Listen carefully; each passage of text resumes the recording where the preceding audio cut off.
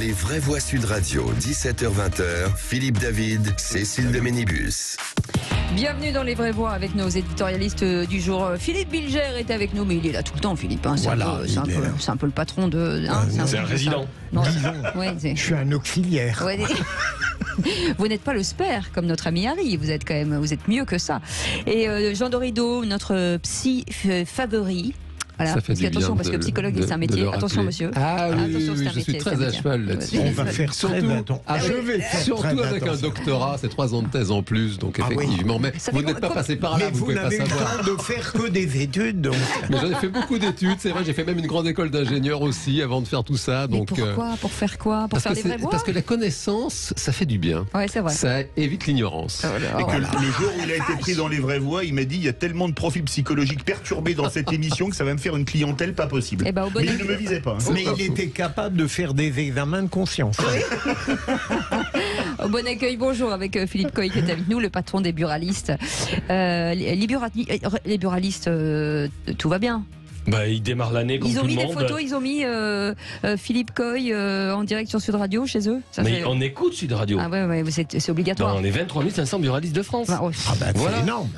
On est Bisous, partenaires. On les embrasse. Voilà, on les embrasse. Premier commerce non alimentaire. euh, Commerçant d'utilité locale au quotidien, Exactement. monsieur. Je, je le sais parce que j'aide suffisamment, aussi- de fumeurs à arrêter de fumer, donc je, je, je, je suis Alors ça, ça un peu c'était pas la connecté. peine de le dire. Mais par contre, je fais un Ils peu ont besoin d'aide, quotidien, fumeurs. parce que le commerce de proximité, c'est le lien social et de la C'est du lien psychologie. On en fait pendant des heures tous les jours. Absolument. On vous prend un peu de boulot quand Eh même. ben- Alors, nous prenez pas non plus les clients. c'est pas mal. Allez, tout de suite, le grand débat du jour. Les vraies voix Sud Radio, le grand débat du jour. C'est samedi dernier que la photo est apparue sur Twitter, floquée du nom du terroriste qui a tué 7 personnes en mars 2012. Une photo sans indice sur sa provenance qui choque les internautes, dénonçant l'apologie de ce terroriste Le TFC s'insurge de ce contenu, l'a signalé dès qu'il en a pris connaissance et affirme que le dit maillot n'a pas été traité par les équipes des boutiques officielles du club. C'est un acte isolé, mais pour autant qui vient dire quelque chose de la banalisation de cet acte terroriste dans la société française en général.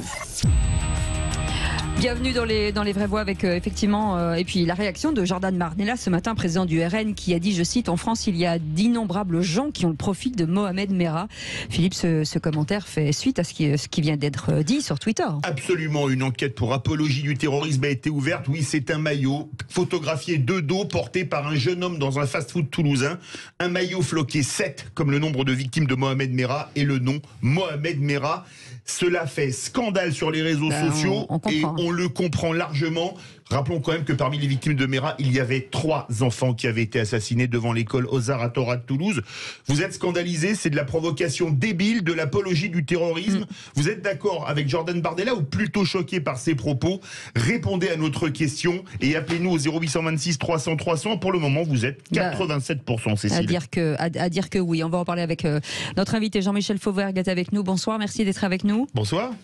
Bonsoir, bonsoir Cécile, bonsoir Philippe, bonsoir l'autre Bienvenue. Philippe, bonsoir Jean-Michel. Ancien Bonsoir. patron du RAID, ancien député et auteur de ce livre qui vient de sortir, qui sort aujourd'hui, je crois. Les hommes en noir, servir ou faillir. C'est un roman chez Plomb.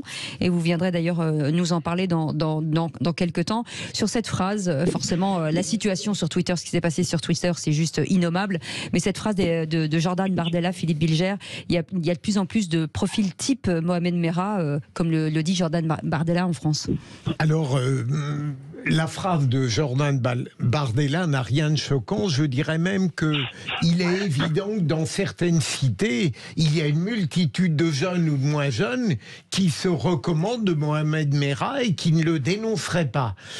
Je vais introduire, mais je sais que c'est très risqué, un petit peu de, de nuance. Je veux dire, tout, c'est- je ne sais pas quel âge il a. Ce, On ce- le voit que de dos. On voit que de oui. En tout cas, c'est pas un, il- un jeune jeune homme. Je Oui, vois, il a je vois le couple d'un désir de provocation et d'une volonté d'indécence. Et tout ça découle probablement d'une absolue bêtise.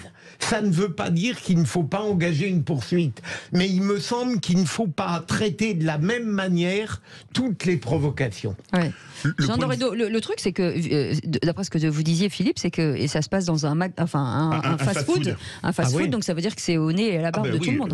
Au vu de tout le monde. J'aurais tendance à, à rejoindre, euh, à rejoindre Philippe Bilger. C'est important d'en savoir plus.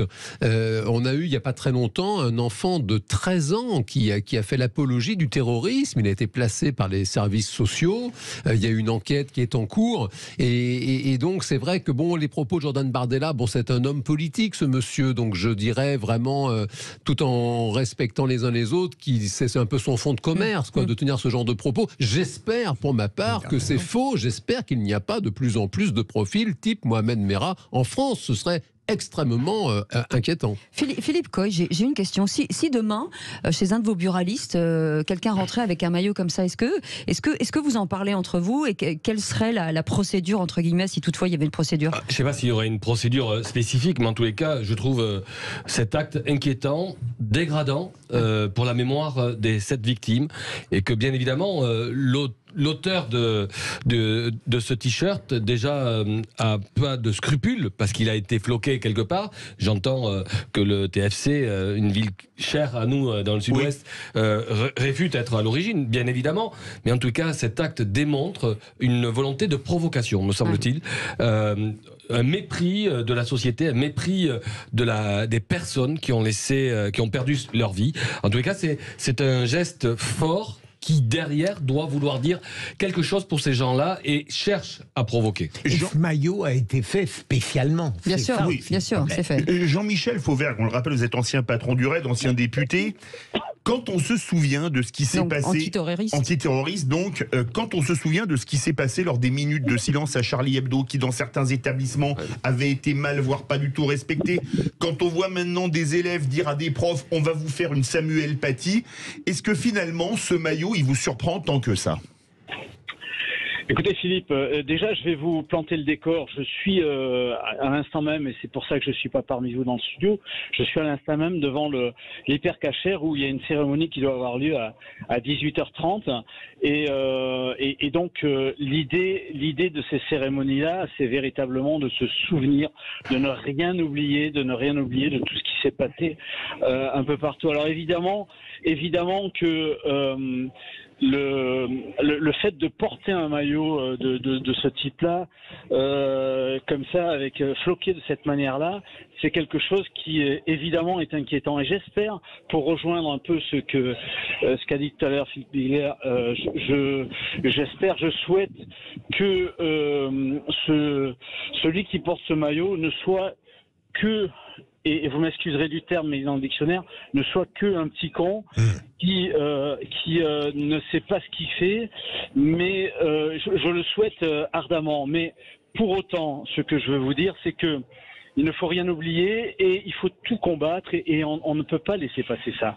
Euh, et véritablement non, on ne peut pas laisser passer ça parce que c'est de l'apologie du terrorisme et parce que ça représente tous les tous les dégâts que l'on a eus et, et que le et, et que le danger existe encore et est encore là. Mais euh, Jean-Michel, il y, a- il y a des fans, il existe des fans, hein, des, des- des terroristes. Et, euh, Oui, oui, oui. Oui, oui, alors là, on est dans une autre catégorie. Alors, euh, c'est pour ça que je vous disais que j'espère, j'espère que ça n'est que ça. Mais si c'est un fan de terroriste, euh, évidemment qu'on a un vrai gros problème, euh, pas que dans notre pays, d'ailleurs, dans pas mal de pays euh, euh, européens, euh, je pense à la Belgique en particulier, on a un, un vrai gros problème parce que euh, le, le terrorisme, euh, le terreau du terrorisme se cultive sur notre sol et qu'on a euh, un terrorisme endogène. Euh, et, et, bon, j'ai bien écouté aussi les propos de, de, de Bardella, bien sûr qu'il dénonce, bien sûr que c'est un, ce sont des propos politiques aussi, mais qui s'appuient euh, pour le coup sur euh, des faits réels. Alors je sais pas, je, je, le, le mot innombrable me, me semble euh, Peut-être un peu exagéré. peut- peut-être un peu exagéré, mais nous avons, nous avons euh, effectivement, et les services sont là pour le pour l'attester, puisqu'il y a des arrestations, ils sont vigilants ces services, et il y a des arrestations. Nous avons des vrais dangers chez nous, et il ne suffirait que d'un, mais je pense qu'il y en a plus que ça d'ailleurs, il ne suffirait que d'un pour nous faire un massacre généralisé. Alors, moi, je nuance le propos du politique euh, de, de Jordan Bar- Bardella de la manière suivante. D'abord, première chose, euh, les services euh, travaillent d'arrache-pied dessus ont évité un certain nombre d'attentats et euh, sont là pour protéger la population et on leur a donné les moyens législatifs et, et il faut que ces moyens législatifs s'adaptent et c'est pour ça que vous avez sans cesse des lois sur l'antiterrorisme pour adapter ces moyens-là et sans doute que euh, faudra les adapter encore euh, et encore et toujours. Ça c'est la première chose. Allez-y. Et la deuxième chose que je voudrais tempérer, c'est que moi je veux bien entendre de tels propos qui sont récupérés politiquement.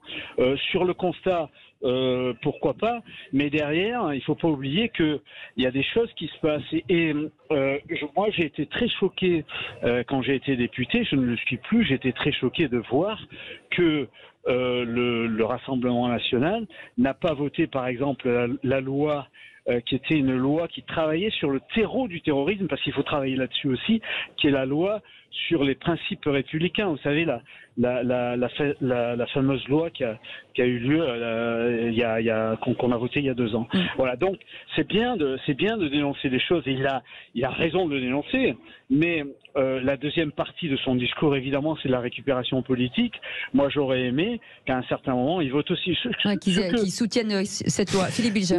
oui, oui, mais ce que je, ce que je, euh, moi je pense que le terrorisme, je suis de ceux qui pensent que le terrorisme doit faire consensus euh, à travers toute la classe politique, Euh, parce que le le sujet est trop est trop vaste, trop important, trop dangereux pour qu'on puisse en faire un objet politique. Mais je sais, je sais que je suis un rêveur dans ce domaine-là. À mon tour, je rejoins Cécile, Jean-Michel et j'infléchis un peu mon propos de tout à l'heure. Parce que je l'ai dit dans une question que j'ai posée, il faut tout de même quel âge qu'on ait, aller se faire fabriquer un maillot spécialement fait pour ça. On voit le nom de Mera, on voit le nom. Donc.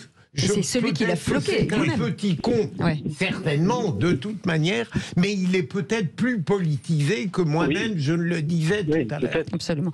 Euh, petite réaction avec euh, vous, Jean, Jean Dorido. Psychologiquement, euh, enfin, il y a, il y a un truc quand même. Il y a- il y a un problème, on est bien C'est- d'accord. le, le fait finalement, cette fascination, pour certains, comme euh, certains ont des fascinations pour les tueurs ou pour les, terroristes. Là, on est, on est, on est où dans la provoque ou dans la, la fascination Ah Mais ben, On ne sait pas très loin le- quand même. L'un n'empêche pas l'autre. C'est un fait que la, jeunesse, c'est- un âge de la vie qui, est l'âge de la violence.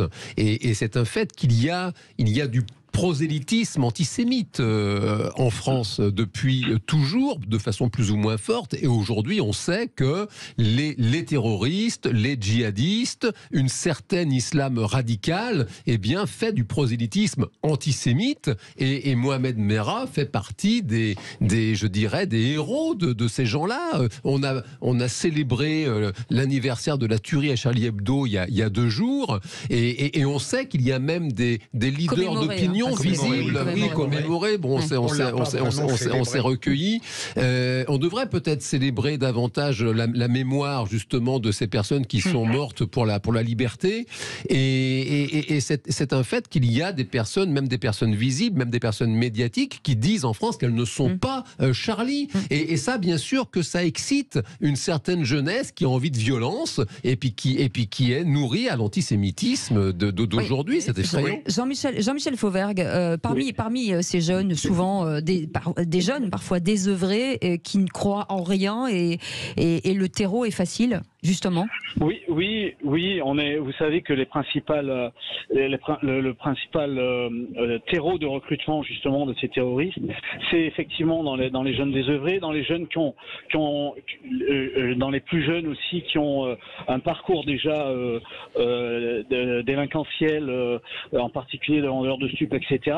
Et, qui évidemment sont tombés au plus bas de ce point de vue-là et qui recherchent entre guillemets euh, des valeurs morales euh, qui, qui euh, que, que les, les, les, les vendeurs de, de, de rêves euh, de, de islamistes leur euh, euh, arrivent à leur inculquer jusqu'à la jusqu'à d'ailleurs le, le, le, don de soi pour tuer les autres. Euh, c'est c'est c'est dans cette victimisation là que l'on trouve euh, ces, ces, ces individus parce que la plupart, euh, la plupart du temps, euh, moi j'étais confronté à des terroristes qui ont qui ont raté la vie comme ils ont raté leur mort aussi. C'est désespérant de c'est désespérant, mais là, là où Mais on peut je- faire quelque chose contre ces gens-là. Est-ce que- qu'on peut faire quelque chose aujourd'hui? Mais si on arrive à les déceler, si Bah, on arrive ça. à les déceler, bien, bien évidemment, bien évidemment qu'il y a des choses à faire. Mais ça, tout, tout commence. Tout commence et tout finit par l'éducation en réalité. Ouais. Et l'éducation se fait très tôt et se fait euh, tout au cours de tout au cours de sa vie et on peut euh, et on, on peut devenir euh, des, des, des- on peut faire des choses Mm. très bien euh, qui nous passionnent On va- on comme, va- par- on va comme faire- écrire par exemple Ouais. écrire des romans Par exemple, comme vous, comme vous. Euh, non, mais je, je vous dis ça parce que moi je l'ai découvert ça, et, et on peut les découvrir à tous âges. Et eux, ils- ils- bien sûr qu'il faut les récupérer, mais il faut les déceler d'abord, quoi. Euh, Philippe Coy. Oui, je, je- je suis inquiet de voir cet endoctrinement des jeunes qui sont euh, désœuvrés, euh, portés euh, euh, par euh, quelques-uns à l'extrême de, de, de situations. Ce maillot, pour en revenir au sujet du maillot, est choquant. Euh, je suis pas sûr que celui qui l'a fait, celui qui le porte, comprenne l'importance de ce maillot et, et le, le symbole qu'il représente quelque part. moi, je pense qu'ils comprennent je très vois bien. le- je vois une jeunesse qui est désœuvrée, qui n'a pas de repères, qui veut en découdre et qui euh, va sur n'importe quel peut-être terrain, voire euh, euh, sur le terrain du terrorisme, pour euh, aller s'exprimer ou se démarquer. Philippe Bilger, juste un mot. Combien on risque s'il se fait arrêter? Non, Et à mon non, avis, probablement, il va se faire arrêter pour apologie Le du terrorisme. maximum, c'est 7 ans.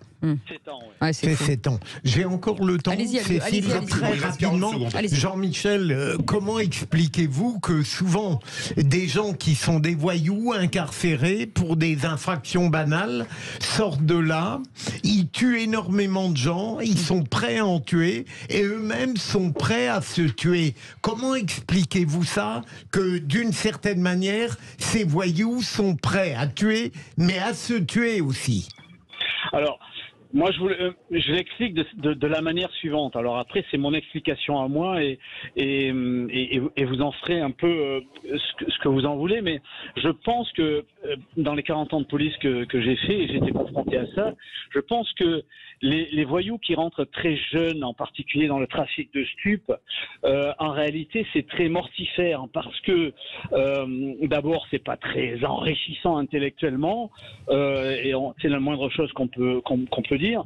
Ensuite, ça rapporte beaucoup de fric et euh, il y a une espèce de de d'é- d'é- dépravation à cause de à cause du poignon, mais il n'y a aucune derrière derrière ça, il n'y a aucune valeur morale à vendre du stup et à faire le mal et à et à et, et à être euh, et à être un, un jeune un jeune délinquant. Il n'y a aucune euh, aucune valeur morale, on se construit pas et, et je pense que le que, que, que votre invité pourra peut-être aller dans ce sens, je sais pas, mais on ne se construit pas mentalement et à un certain moment il manque quelque chose. Et ce vide là, eh bien, Ils le remplissent comme ça. ah, voilà, à partir du moment où ils sont confrontés euh, à des à, des gens qui, qui, qui trafiquent les esprits et qui vont travailler là-dessus, eh bien, euh, ils ont un terreau favorable et, et ça va jusqu'au jusqu'à la jusqu'au kamikaze, jusqu'au don de Jusqu'à soi. l'acte, jusqu'à l'acte, c'est ça. Voilà, Merci, beaucoup euh, Jean-Michel Fauvergue. On vous laisse parce que la cérémonie devrait commencer dans quelques instants.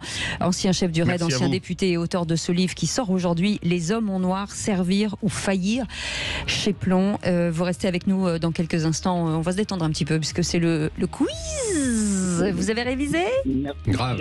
Merci. Jean-Michel. Merci Bonne journée. Au Jean-Michel. revoir.